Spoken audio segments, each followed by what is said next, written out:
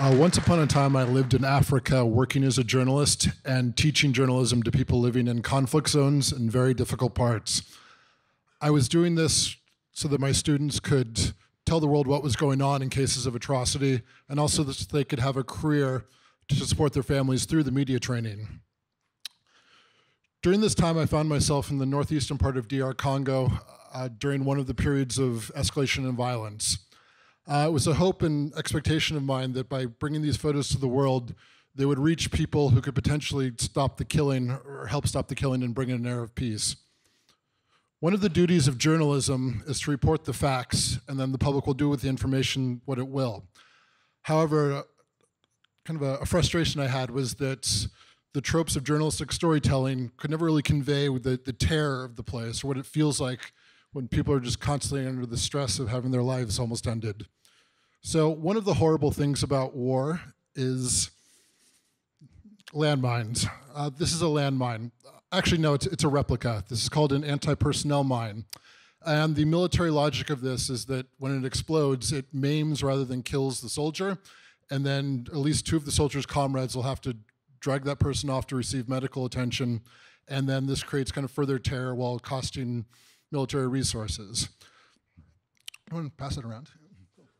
Thanks. Cool. Uh, so as you can see, these are prevalent all around the world, and long after the conflict ends, uh, the mines remain active. There's no way to turn them off. So this means that women, children, and men who are largely farmers but going about their lives, when they step on one, um, they lose at least a limb and possibly their lives. So um, I kind of mentioned the frustration that the journalistic tropes don't convey what, what things feel like to be in these areas. So um, after I got out of Congo, I started to write short films to kind of explore what it was like to be there because the duty of a filmmaker is to bring the audience into the world of the characters. And so I thought if audience members could come into the world, then they would have a better sense of empathy um, towards what it's like to actually be in these places. And perhaps we could do what I came to call closing the empathy gap. So uh, an idea I had was to use science fiction as a genre to hopefully inspire people to work on new solutions to the landmine problem in a similar way that Star Trek inspired a whole generation of innovators through that through its use of technology. And so one of these amazing things in the world is an organization called Apopo. And Apopo is founded by a Belgian Buddhist product designer who grew up loving rats. And at a certain point in his life, he started to train rats to find landmines. And so for 20 some odd years, this organization has been clearing minefields with the use of the giant African pouched rat. This is all true. It's amazing. So I, I was like, oh, that would be that would be kind of a fascinating short film about a rat. And then I was kind of looking for a plot, though, right? It's got to be a movie. And around this time, I was asked to be a judge on this thing called the Robot Film Festival. And the Robot Film Festival is a kind of fun, quirky event, but it's basically trying to showcase benevolent human-machine relationships through the use of cinema. So like one of the slogans of the film festival is like, what if Skynet loved us, right? It'd be a entirely different Terminator series. But then when I was a judge on this, I was like, wait a minute, if, if robots and humans are working together, what if rats and robots could work together? So with that, voila, I had my plot. A love story between a rat and a robot who guide humans out of a landmine field after they've gone insane. Perfect, perfect short film thing, right? Um, so I, I, was making the film, and it was getting this great community, and uh, it, people started to kind of become involved in landmine re removal work and kind of educating themselves. And then, while we had this kind of little barely functioning robot type thing on set, I got kind of interested in the metaphor of like, what if robots are kind of like puppets that you throw electronics on, right? Like, what if they have that kind of magic? So then, just kind of as a you know side quest, as I do, um, I started to try and make the robot from my movie in the real world. In the process of doing this, I came across this fantastic thing, which many of you are probably aware of, but if you're not, called the maker community. And basically, makers are people who are interested in technology, who strongly believe in open source collaboration and also in like showcasing their projects. So it's all about sharing, high five you, go go team. Um, this is also seminal in a lot of the, the STEAM education initiatives you see coming around America these days.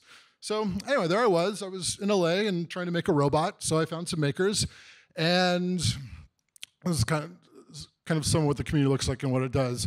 So I was actually kind of getting okay at this. And another cool thing that's actually enabling the maker movement is that a lot of the technology um, that previously, in like the very, very recent history, would have required advanced degrees in order to utilize, is now really available. So someone like me, who's like, you know, I want to make a robot, um, can actually make a robot. So I was I was on cloud nine. You know, you just you feel like a, a non-evil Dr. Frankenstein, right? Like, oh, it lives. Um, so right, things are going great. I got the robot, and then I start mixing the robot with the rats because I'm like, well, it worked in the movie. Why can't it work in reality?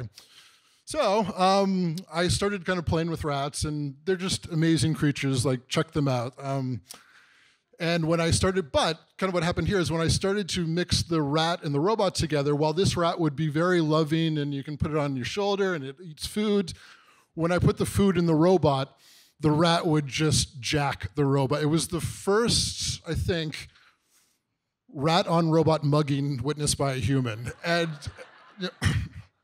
I was like, okay, you know, I learned a lot, you know, just it's not there. So I was kind of like moving away from my dream of the rat and the robot working together when I got one of those like chance emails, like, "Hey, McGregor, that you should go check this guy out," uh, to see a lecture by a roboticist and artist named Ian Ingram. Um, Ian Ingram makes robots that communicate and commune with animals in nature. Uh, what you have featured here is his work called Lizardless Legs, and the robot is on the left. And so basically, there's a certain species of lizard that does push-ups to declare dominance on the hot spots of the rock. And that robot emulates the gesture that the lizard perceives as I'm the dominant man on the rock, or she man, or she she, whatever the lizard genders are. And then the lizard will run away. And so it does this all autonomously. So I went to go see his lecture. I got there at the end.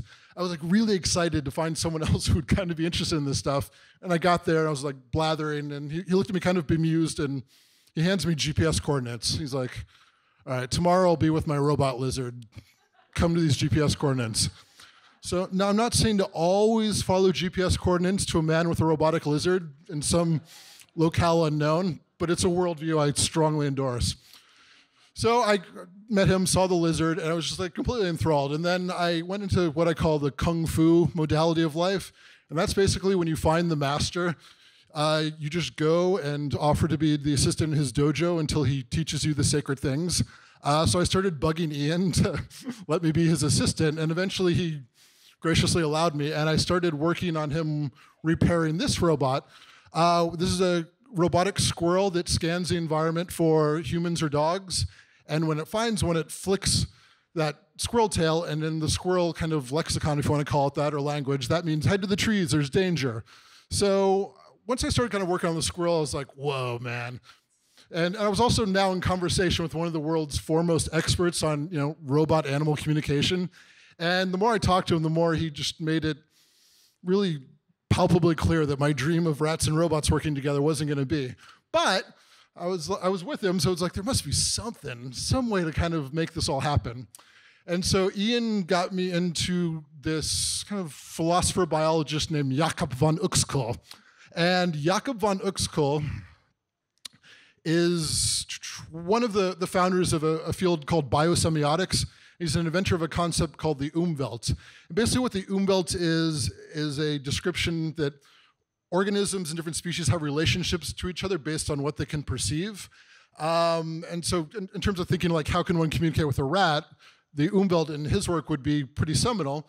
So, one of his famous studies is about a animal that's probably not near and dear to our hearts, but it's eaten you or someone you love in your life. And it's blind, deaf, and can barely move. And I find that amazing. I'm obviously talking about the tick.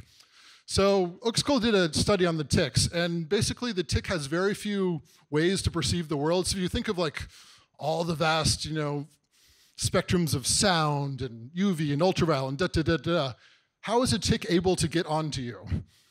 it, it doesn't have eyes. So basically how the tick works is it has general light sensitivity in its skin, and that lets it climb to the top, the top of grass.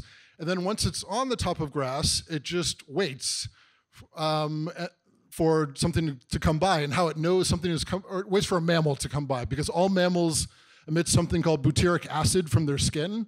And so once the tick detects butyric acid, then the tick immediately drops. And if the tick drops and senses heat, uh, all mammal blood runs at 98.6 degrees.